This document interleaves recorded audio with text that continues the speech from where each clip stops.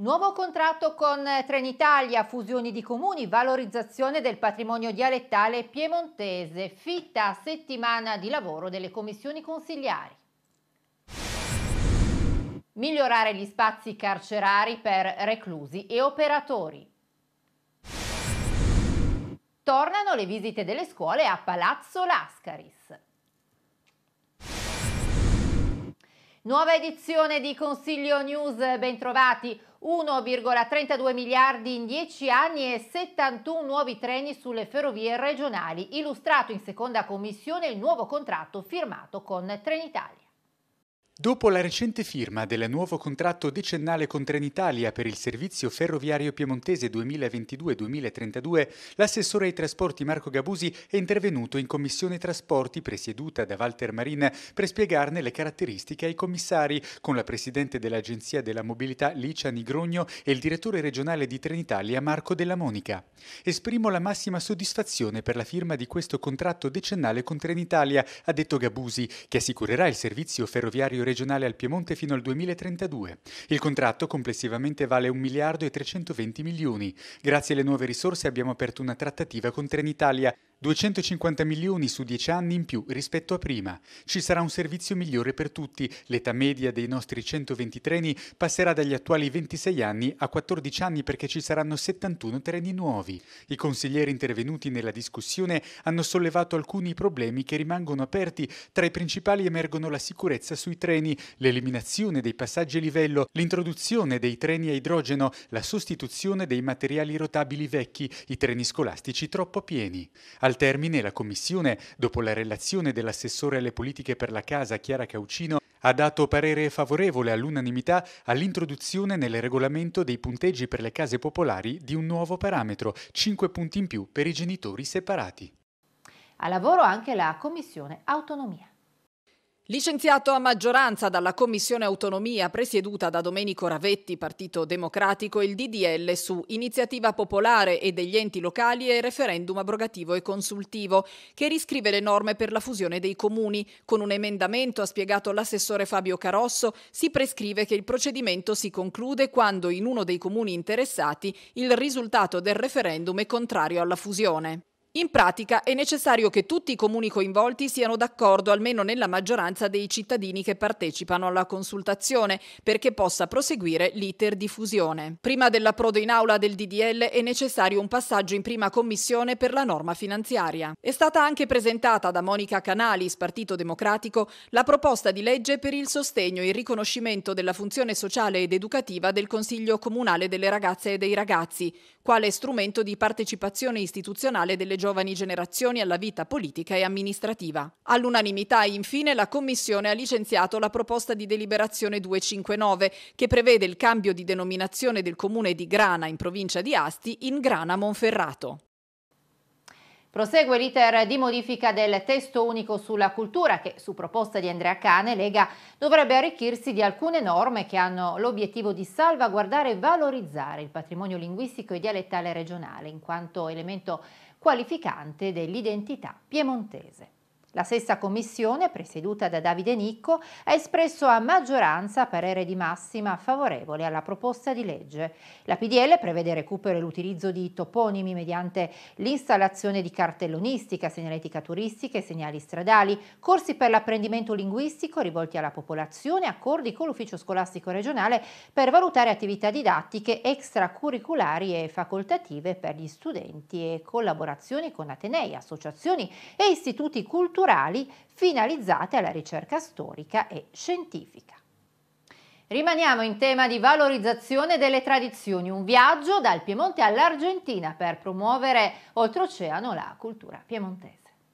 Un viaggio culturale per consolidare gli antichi legami tra il Piemonte e la Pampa Gringa, cuore dell'immigrazione piemontese in Argentina. Fino al 16 novembre il gruppo di danze popolari I Danseur del Pilun portano oltreoceano animazione, danze, teatro ma anche seminari e conferenze in lingua piemontese. Il progetto, che vede la collaborazione di FAPA, Federazione delle Associazioni Piemontesi in Argentina, e Piemonte e Cultura, fa parte delle iniziative promosse dall'Associazione Piemontesi nel mondo. Loro hanno il piacere sempre costantemente ricordarsi chi sono e da dove sono arrivati e abbiamo noi come Regione Piemonte il piacere di continuare a mantenere questo rapporto stretto. In Argentina, dove vivono centinaia di migliaia di discendenti di emigranti piemontesi ormai di terza e quarta generazione, è ancora viva la lingua piemontese e si mantengono incontaminate le antiche tradizioni di coloro che partendo dal Piemonte tra la fine dell'Ottocento e i primi decenni del Novecento si avventurarono in cerca di fortuna verso un lontano, sconfinato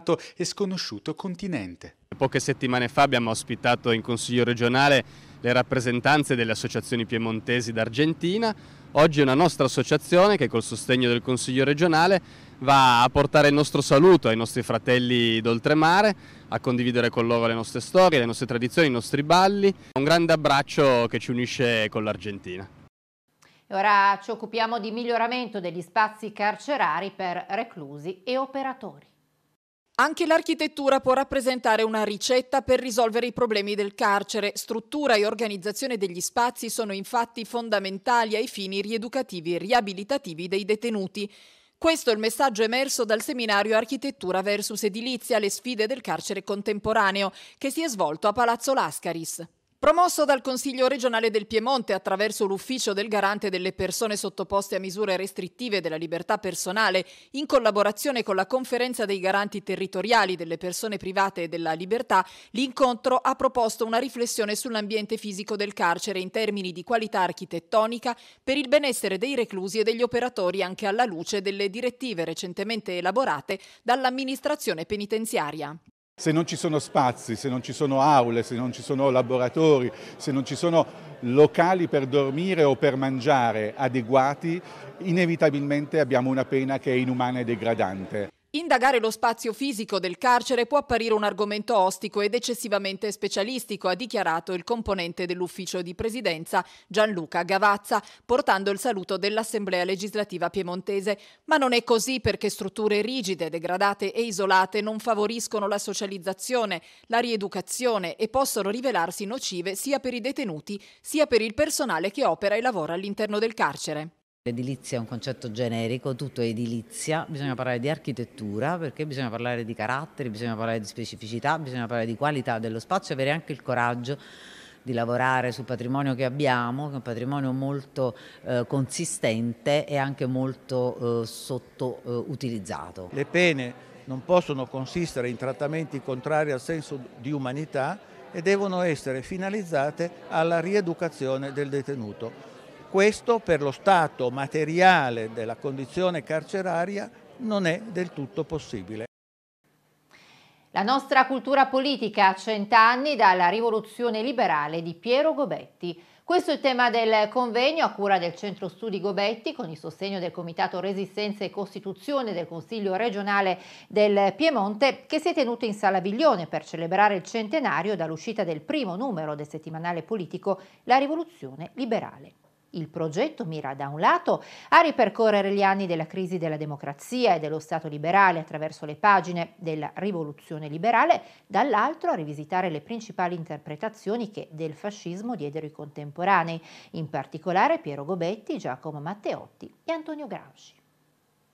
Palazzo Lascaris è tornato ad aprire le sue porte agli studenti e alle studentesse del Piemonte. In occasione della mostra Guarda voi, 200 anni della Scuola Allievi Carabinieri di Torino, ospitata fino al 7 dicembre nelle sale della Galleria Spagnolo, sono riprese a Palazzo Lascaris le visite didattiche rivolte alle scuole per studenti e studentesse a partire dalla classe quinta della scuola primaria. La visita, della durata di un'ora e mezza circa, con un numero massimo di 30 studenti, si articola in due momenti, uno dedicato alla mostra, l'altro agli aspetti storico-artistici di Palazzo Lascaris e istituzionali del Consiglio regionale del Piemonte. Per le classi della scuola secondaria di primo grado, oltre alla visita è previsto un laboratorio sulla storia dei carabinieri. Stiamo visitando la mostra sui carabinieri perché fa parte di un progetto attuato nella nostra scuola per quanto riguarda l'educazione civica e in particolar modo la visita agli enti locali di Torino. Questo progetto parte appunto perché i bambini sono i futuri cittadini del domani e quindi è giusto che conoscano gli enti locali. La loro curiosità intrinseca in quanto bambini li porta a essere a curiosare verso le cose più semplici che magari noi diamo per scontate o anche solo come adulti non necessario da sapere. La prenotazione per le scuole deve essere effettuata esclusivamente online sull'apposita pagina del sito del Consiglio regionale del Piemonte. Per questa edizione è tutto. Prima di salutarvi vi ricordo che sul sito cr.piemonte.it trovate notizie e aggiornamenti sull'attività del Consiglio regionale del Piemonte. Arrivederci.